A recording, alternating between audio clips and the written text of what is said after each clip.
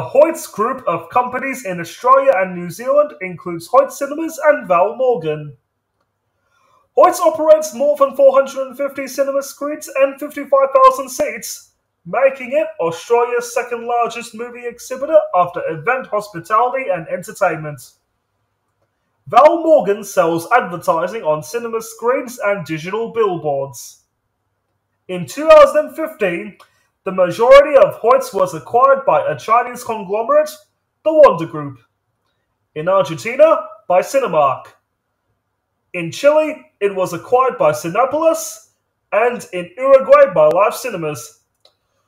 Well, this is what this documentary is about, folks.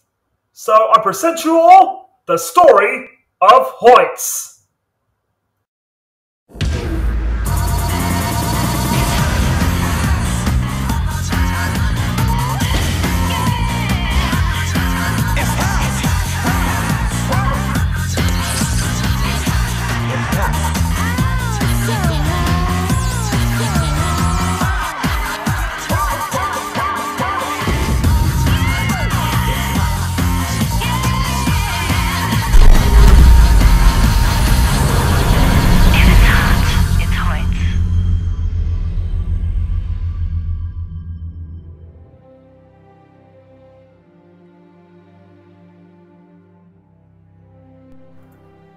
At the start of the 20th century, dentist Arthur Russell bought a share in a small touring tent show incorporating magic and moving pictures.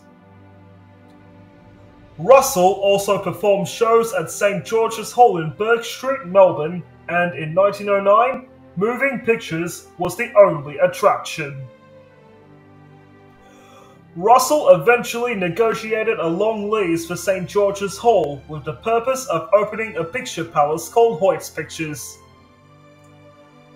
By the time he died at the end of World War I, Hoyts had expanded into the suburbs of Melbourne and into Sydney.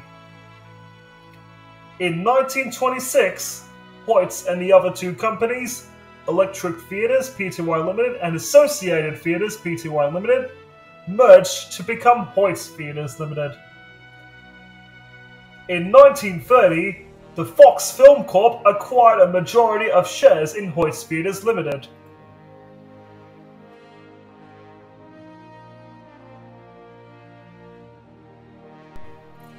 In 1982, 20th Century Fox sold Hoyts to Stardawn Investments, a group of four Melbourne businessmen. In 1985, the Fink family subsequently bought out the other partners to become the sole owner.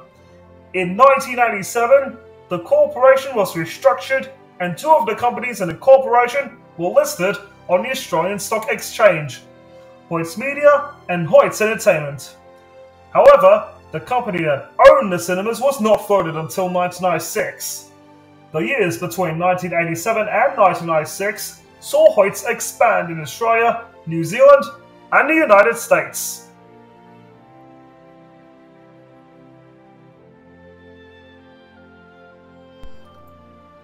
Following Leon Fink's death in 1993, the Hoyts organization was sold to Hellman and Friedman and Lendlease.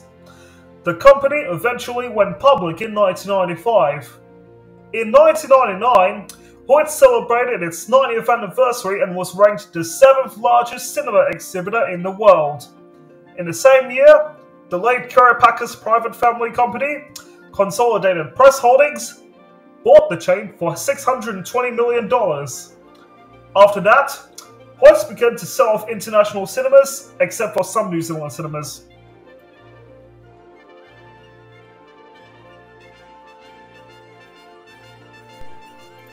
In 2004, Hoyts joined forces with Village Roadshow and Amalgamated Holdings Limited to bail out Val Morgan Cinema Advertising, eventually taking their stake to 100% in 2005.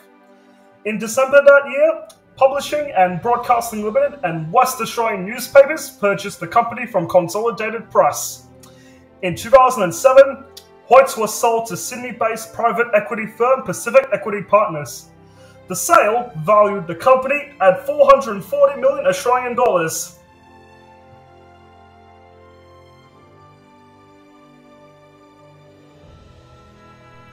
In 2010, Hoyts acquired Australian Multiplex Cinemas in Queensland and the Berkeley Cinema Group in New Zealand.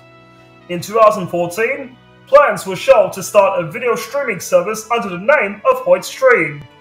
In the same year, Damian Keogh was appointed Chief Executive Officer, and Hoyts was bought by Chinese billionaire Sun Xishuang through his investment company, ID Leisure Ventures. In 2015, Wanda Cinema Line a subsidiary of the Dalian Wanda Group, purchased Hoyts from ID Leisure Ventures. In 2018, Hoyt's kiosk DVD vending machines were rebranded as Video Easy after the group sold its subsidiary.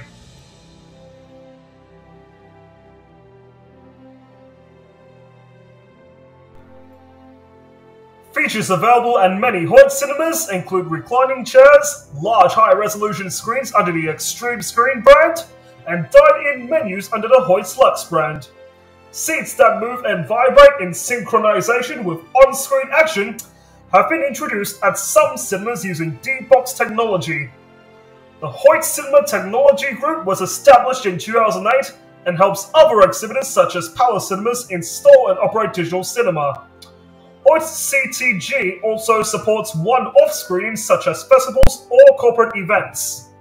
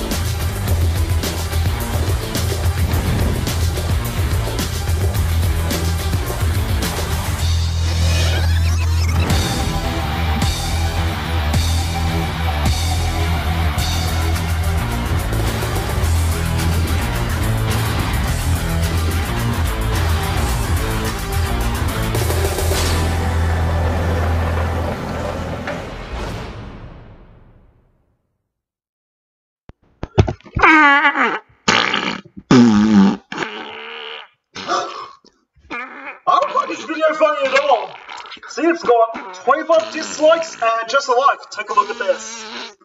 Uh, you can see yeah. Uh, someone said that he likes Barney and hates Teletubbies and the Wiggles. Well, no, he hates Barney and he likes Teletubbies and Wiggles, so that's not good. My name is Rowan Hordern. I like smelly butts that far. Oh, no, you don't.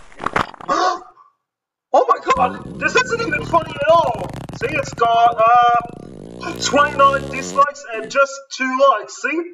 Barney's really sad. Yep. Ron Hornet hates it. So, if you guys like or hate Barney, then I kind of respect your opinion. Okay, that's it.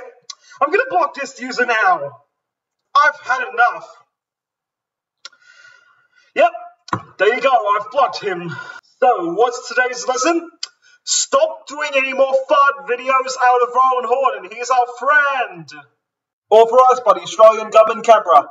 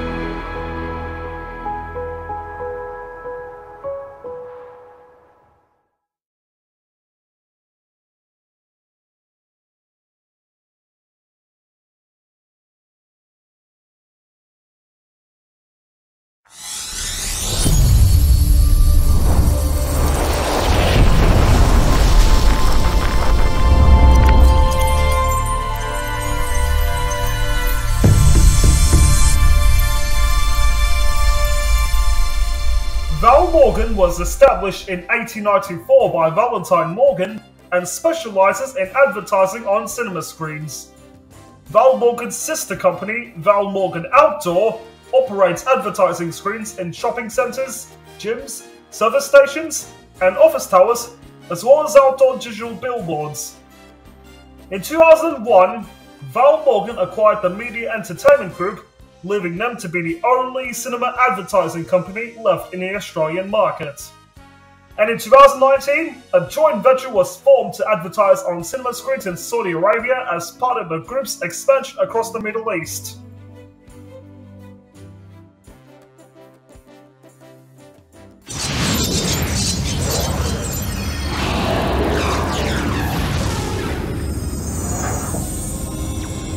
Hoyts Distribution was the film distribution arm of the group which existed in its own right in the 1980s to the early 1990s. It was later merged with the distribution operations of Columbia TriStar Film Distributors and 20th Century Fox, forming Hoyt's Fox Columbia TriStar Films, later Fox Columbia TriStar Films after Hoyt's dropped out of the venture. In 2002, the company was revived, distributing primarily films produced by Nine Films and Television and major independent studios such as Lionsgate Entertainment. In 2012, Hoyt's distribution was sold to Studio Canal and took the Studio Canal name in Australia and New Zealand in March 2013. You've seen this logo at the beginning right after the LJ Films logo and before the Samuel Goldwyn Films logo, but now you get to see this again.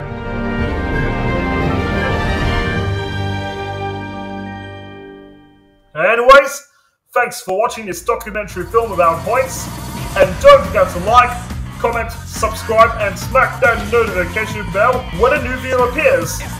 I'll see you in the next documentary film, and remember, if it's still hot, it's Hoyts.